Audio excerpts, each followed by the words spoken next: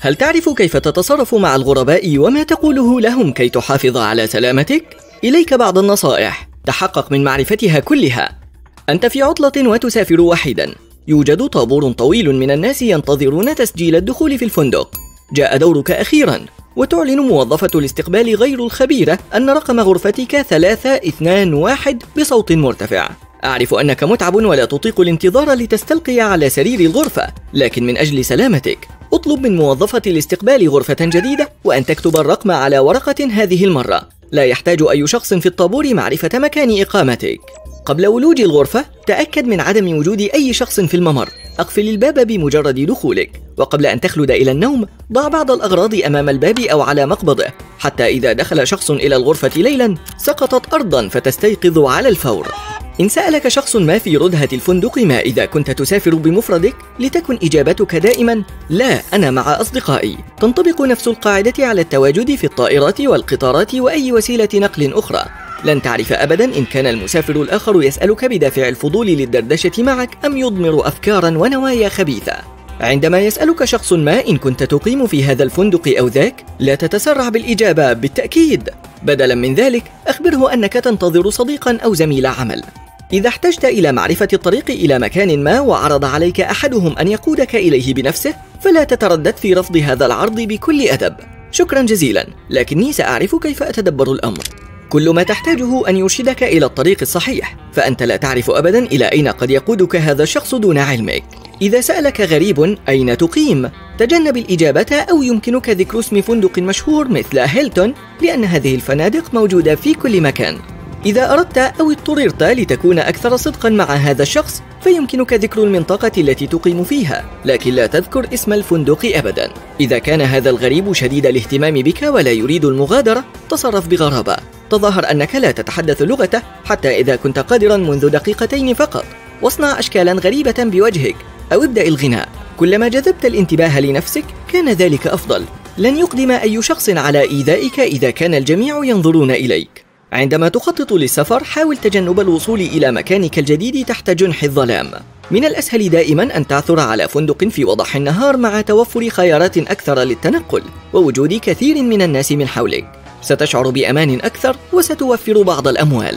بالحديث عن المال أعتقد أننا نعرف جميعا الحيلة القديمة بإخفاء بعض الأموال في ملابسك الداخلية أو الحزام أو أي من غيرها. لكن تأكد دائما من وجود بعض المال على الأقل في محفظتك. إذا حدث ما هو أسوأ وأراد شخص ما سرقتك يمكنك أن تترك له محفظتك حتى لا يغضب ويؤذيك في حالة عدم وجود ما يأخذه منك. عندما تطلب طعاما لا تقدم اسمك الحقيقي. إذا شعرت بعدم الارتياح عند ابتكار اسم مزيف لنفسك قل إنك تطلب لشخص آخر واستخدم اسما مألوفا. إذا كنت مضطرا لتقديم عنوانك في صيدلية مزدحمة أو متجر لتسجيل بياناتك في قاعدة العملاء فاحذر أن تبوح به بصوت مرتفع. اهمس به أو اكتبه على ورقة حتى لا يسمعه الغرباء. انتهيت من مهمة التسوق بنجاح وعدت إلى موقف السيارات المظلم وشبه الفارغ في المجمع التجاري. لتستقل سيارتك. مهلا. هل هذا معطف على زجاجها الأمامي؟ هل تنوي التخلص منه؟ توقف في الحال. إنها حيلة يلجأ إليها الأشرار لسرقة سيارتك. أخبر الأمن بالأمر واطلب منهم مرافقتك إلى السيارة والانتظار حتى تغادر المكان بأمان. تنطبق نفس الحيلة على الإطار الفارغ من الهواء. إذا لاحظت ذلك بعد زيارة متجرك أو مطعمك المفضل عد إلى الداخل واطلب المساعدة. إذا اقتربت من سيارتك وحيدا قد يظهر شخص ما ويعرض عليك المساعدة. من المحتمل أن يكون هذا الشخص هو المسؤول عن تخريب إطار السيارة. عندما تخرج من مكان عملك بغض النظر عما إذا كان متجرا صغيرا أو مكتبا لا تجب على من يسألك عن ساعات عملك بشكل مباشر أبدا. أخبر هذا السائل أن ساعات العمل غير ثابتة وأن المدير هو من يقرر كل يومين. وإذا سألك شخص ما إن كنت تعمل بمفردك أخبره أن لك زملاء يعملون معك بالداخل هل كنت تستمتع بابتكار لغات مشفرة وكلمات سرية وأنت طفل؟ يمكنك الآن استخدام هذه المهارة من أجل سلامتك. اتفق على عبارة سرية تشاركها مع عائلتك أو أقربائك عندما تكون غير قادر على التحدث أو المراسلة بشكل طبيعي. عندما تقول لا تقلق سأذهب في رحلة قد يعني ذلك ساعدوني بسرعة يمكنك نقل هذه المهارات لمستوى أعلى وتشفير اسم الطريق الذي تتواجد عليه أو اسم المجمع التجاري الذي رحلت منه بصحبة شخص لا تطمئن إليه. لا ضير في تعلم بعض أساسيات الدفاع عن النفس حتى إذا كنت لن تضطر لاستخدامها أبدا ونأمل ذلك. تذكر أن أبرز نقاط الضعف هي العينان والأنف والفك وتفاحة آدم في الرقبة والضفيرة البطنية أسفل الضلوع مباشرة والركبة ومشط القدم. إذا اضطررت إلى ركوب المصعد مع شخص غريب قف بحيث يكون ظهرك للوحة الأزرار. وبهذه الطريقة لن يتمكن من إيقاف المصعد بين الطوابق. لا تسجل موقعك على وسائل التواصل الاجتماعي عندما تصل إلى مطعم أو فندق أو مجمع تجاري جديد. وإن كنت ولا بد فاعلا فافعل ذلك في وقت لاحق. سيشعر أصدقاؤك بنفس القدر من الحماس أو الغبطة مهما كان قصدك. وستحمي نفسك ممن يتعقبونك رقميا. يمكن لهؤلاء الأشخاص تتبع أي كان لا سيما إن كنت مشهورا. إذا لم تكن تشعر بالراحة لأنك تعيش وحيدا في منطقتك الجديدة اجعل الأمر يبدو كما لو أنك لست بمفردك. ضع مجموعة من النعال والأحذية بمقاسات مختلفة أمام الباب الخارجي. وبهذه الطريقة سيفهم الآخرون أنك لست لوحدك. تعرف على جيرانك. قد لا تصبحون أصدقاء في النهاية لكن على الأقل سيكون لديك أشخاص يعرفونك وسيتفاعلون معك إذا لاحظوا شيئا مريبا يحدث حول منزلك أو شقتك. وعندما تترسخ ثقتك بهم يمكنك أيضا أن تخبرهم بمواعيد مغادرتك ووصولك إلى المنزل. تحقق من الإضاءة في المبنى الذي تقيم فيه. أخبر فريق الصيانة بأي نقاط مظلمة أو مصابيح مفقودة في الردهة تحتاج أيضا إلى إضاءة جيدة في ساحة ركن السيارات وغرف التخزين وغرف البريد وعلى الدرج. وغيرها من الأماكن الشائعة لتجنب مواقف الخطر. عندما تسير وحيدا إلى المنزل فحذاري أن تنصاع إلى رغبتك الملحة في تشغيل الموسيقى في سماعات الرأس أو الاتصال بشخص ما لتشعر بالأمان أثناء تحدثك إليهم. عندما تستخدم الهاتف تكون مشتت الانتباه أكثر خاصة وأنت لا تستخدم أدوات مساعدة على الرؤية ولا تملك سوى يدا واحدة لحماية نفسك عند الضرورة. تخيل أن هناك من يتعقبك في الشارع تعبر الطريق ويفعل نفس الشيء. تخرج من الطريق المزدحم فيفعل نفس الشيء. عندئذ احرص ألا تبتعد عن الشارع الرئيسي مهما حصل. توقف وتظاهر أنك نسيت شيئا ما. ضع يديك على جيوبك وتظاهر كما لو أنك تبحث عن محفظتك. لا تتظاهر بأنك تبحث عن هاتفك. فقد يعتقد من يتبعك أنك بلا هاتف فيدرك أنك لن تكون قادرا على طلب المساعدة. ابدأ السير في الاتجاه المعاكس. من غير المرجح أن يرغب هذا الشخص في السير خلفك إلى الشارع المزدحم. وإذا كان تمثيلك جيدا قد يفقد اهتمامه بك لأنه سيعتقد أن جيوبك خاوية. إذا لاحظت أنه ما زال يتبعك فاقصد أول مقهى تراه أمامك. توجه مباشرة إلى الحمام وانتظر من خمس إلى عشر دقائق. إن اكتشفت أن من يتبعك ما زال بانتظارك اطلب من العاملين بالمقهى مساعدتك على الفور. إذا أردت انتظار وسيلة المواصلات العامة في الظلام حاول البقاء بالقرب من الناس. أما إن لم يكن هناك أحد فانتظر داخل بناية جيدة الإضاءة حتى تصل وسيلة النقل. وآنذاك أيضا ارفع جاهزيتك وراقب ما يدور من حولك.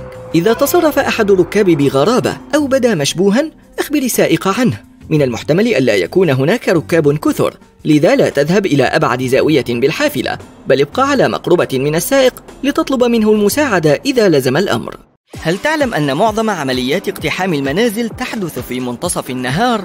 يقول مكتب التحقيقات الفيدرالي إن عمليات السطو تحدث في منتصف النهار لأن الأشخاص يكونون خارج منازلهم.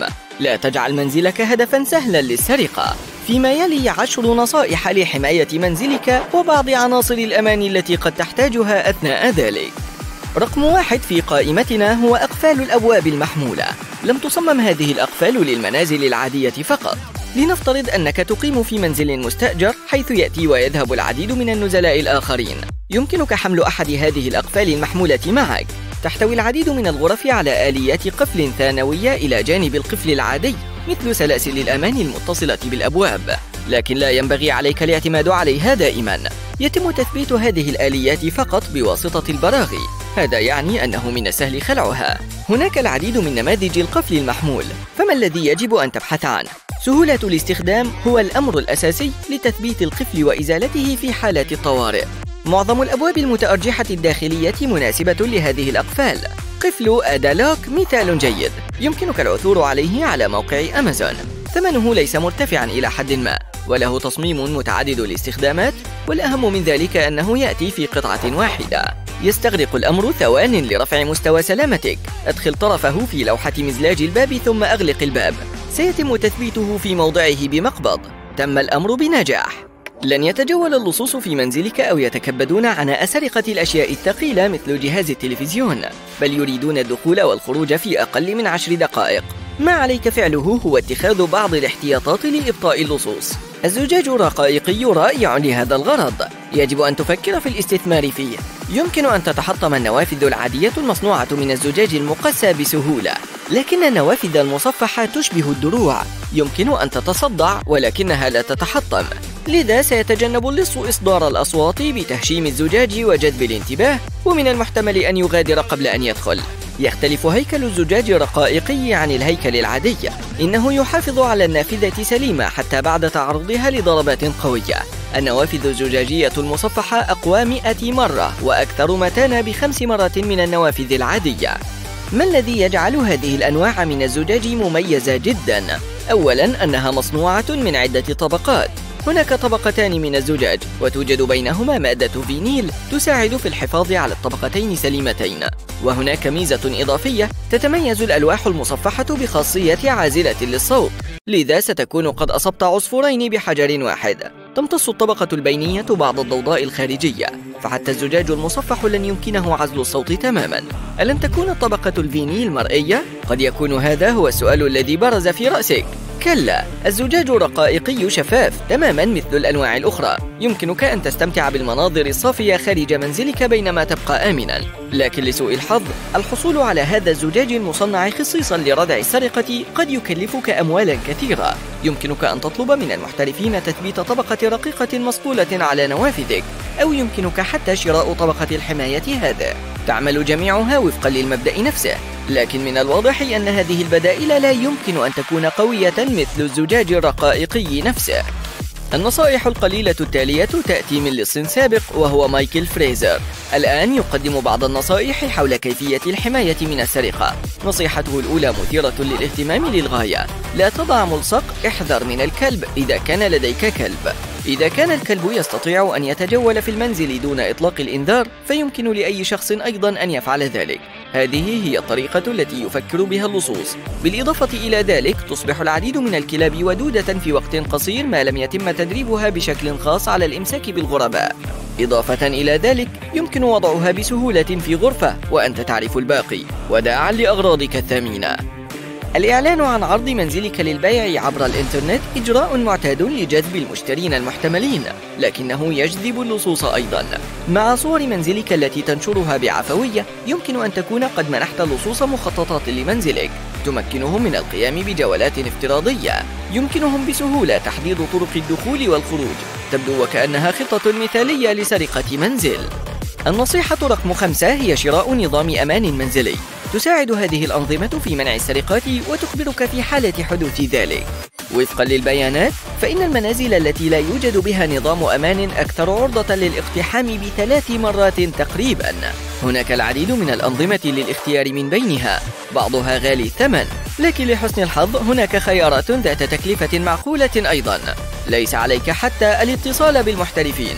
يعد نظام الأمان هذا من أمازون مثالا على أداة قليلة التكلفة مع ميزات مفيدة. تم تصميم هذه الأنواع من الأجهزة لتكون سهلة التركيب والتثبيت.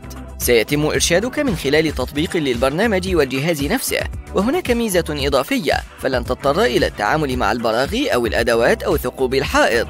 هناك أيضا خدمة عاجلة سريعة يمكنها إختار السلطات إذا اخترت ذلك. نظرا لسهولة تركيبها وتشغيلها فهذه الأداة مثالية للمقيمين لفترات قصيرة أيضا. هل تتذكر عندما قلت إنه إذا كان الكلب يستطيع التجول في المنزل فسوف يتمكن اللصوص من ذلك أيضا؟ حسنا التكنولوجيا هنا ليست في صالح اللصوص. يمكن لهذه الأنواع من الأجهزة الآن اكتشاف الدخلاء وأن تتعرف على حيوانك الأليف. يمكن وضع المستشعرات في النافذة والأبواب والزوايا ولكن لا يزال من الممكن تعديلها لتجنب الإنذارات الكاذبة التي قد تحدثها الحيوانات الأليفة.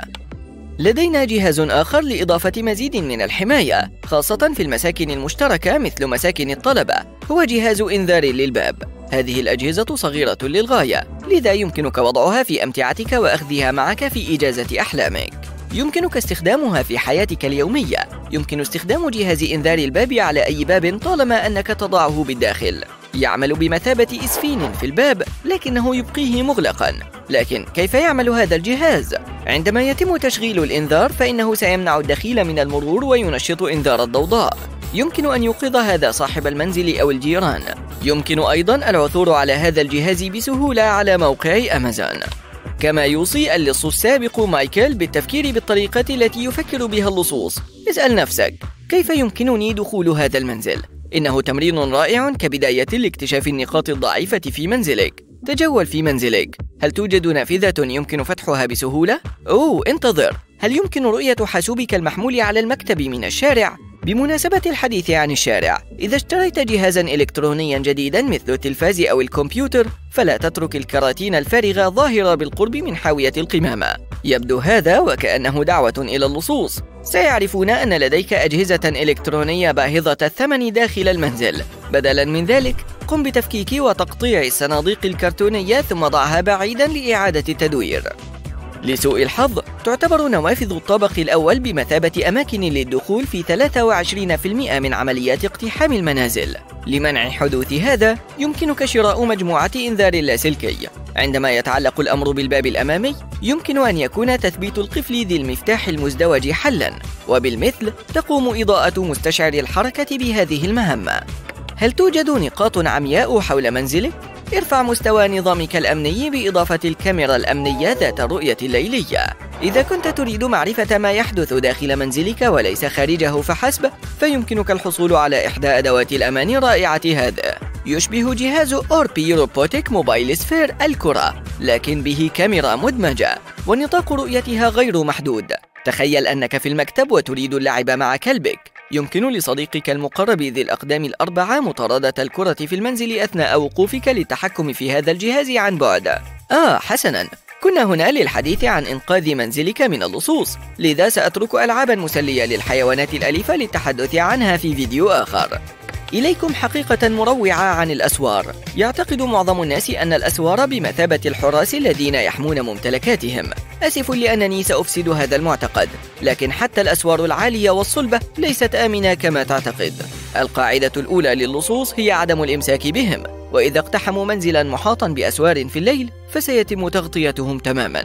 جيرانك لا يمكنهم رؤية من هو هذا الشخص كما تعلم ما لم تكن لديهم قدرة على الرؤية بالأشعة السينية. يجب أن يكون من الصعب تسلق الأسوار.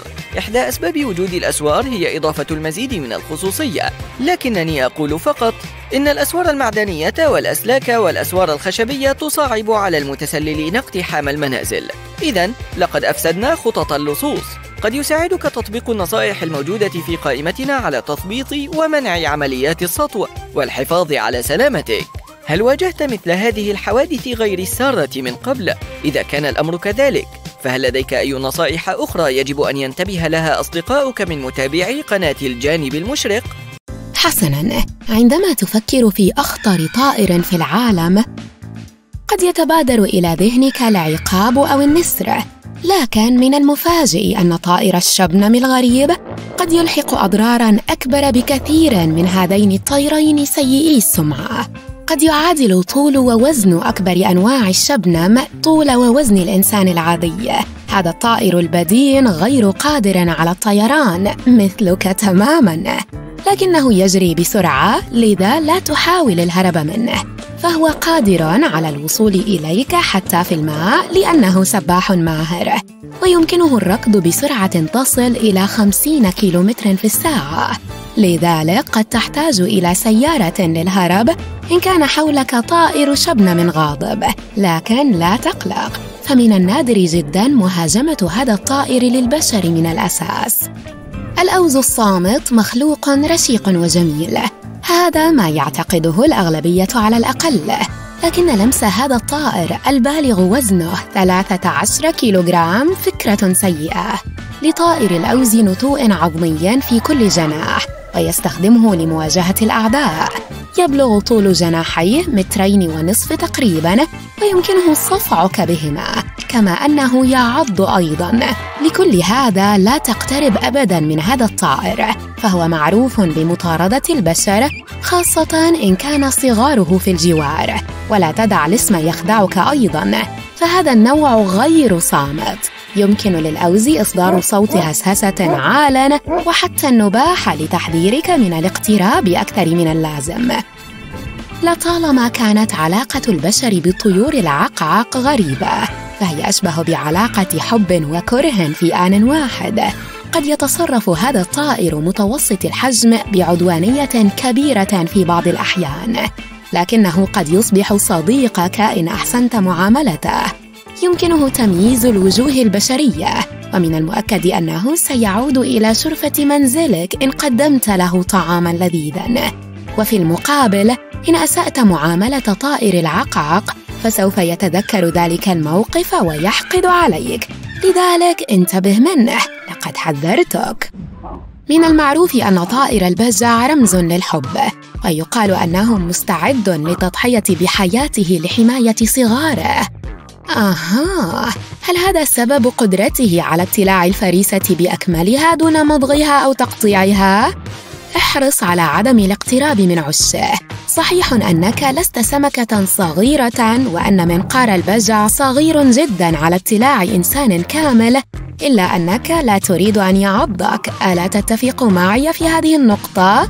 حسناً. الطائر التالي سيخيفك باسمه فقط. لقلق شوبل طائر كبير جدا ويصل طوله إلى متر ونصف وهذا أقل بقليل من طول الإنسان المتوسط. لذلك لا عجب أنه قادر على مواجهة التمساح. أعني التمساح الصغير لكنه لا يحتاج سوى لفكه فائق القوة للفوز بضربة واحدة. ألا تزال غير خائف منه؟ حسناً يصدر هذا الطائر أصواتاً مرعبة وستشعر وكأنك في فيلم رعب عند سماعه الآن إن كنت تعتقد أن النعام الجبان لا يشكل أي خطر فأنت مخطئ جدا أولاً لا يدفن هذا الطائر رأسه في الرمال كما نظن إنه مجرد خداع بصري وإلا كيف سيستطيع التنفس في الرمال؟ ثانياً يفرط النعام في حماية صغاره. وإن حاولت يوماً الاقتراب من صغاره فإن هذا الوحش ثقيل الوزن القادر على الجري بسرعة تضاهي سرعة السيارة داخل حدود المدينة. سيستنفر لمطاردتك. لست خائفا بعد؟ حسنا يجب أن تخاف منه. فالنعام أقرب قريب حيا لديناصور T-Rex إلى جانب الدجاج. يبدو طائر الهواتزن مسالما تماما باستثناء رائحته الكريهة وهذا موضوع آخر. لكن أجنحة صغاره ليست كذلك. يضم جناحا الفرخ مخلبين مميزين باستخدامات متعددة. أولاً يزودان ببعض الحماية من الحيوانات المفترسة. وثانياً يساعدان على تسلق الأشجار في حال سقوطه من العش لكن حالما يكبر الفرخ تختفي هذه المخالب مثل الأسنان اللبنية. لا يهم الحجم في بعض الأحيان. لو كنت مثل طائر الطنان لاضطررت لتناول حوالي 150 كيلوغرام من الطعام يومياً لتحافظ على وزنك الطبيعي لمجاراة عمليات الأيض السريعة في جسمك.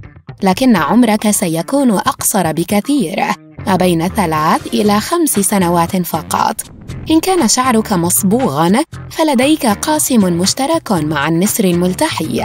على الأرجح أننا النوعان الوحيدان في العالم اللذان يستخدمان الصبغة لغرض معين. تصبغ النسور ريشها بالتربة الحمراء لإظهار هيمنتها على الطيور الأخرى. أما البشر فإنهم يتبنون ذلك من باب التغيير.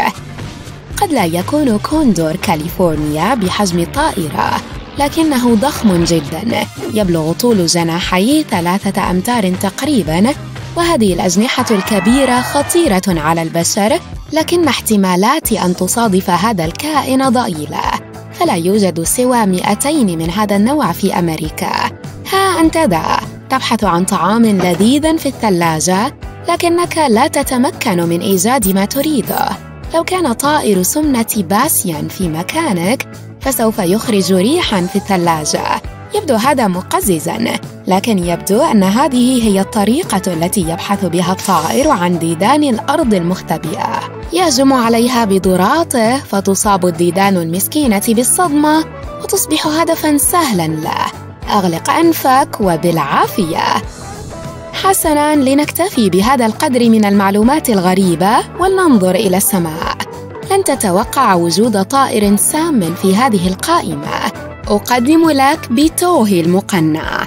اكتشف العلماء أن هذا الطائر سام عندما لاحظوا شعورهم بالخدر والحرقة بعد لمسه. هناك الكثير من السموم في ريشه وخاصة في الجانب السفلي.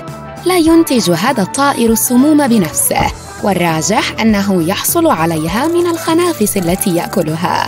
وماذا عن الأوز المجنح؟ هذا الطائر معروف بكونه ساما هو الآخر وتأتي سميته من مضغ خنافس البثور. يا!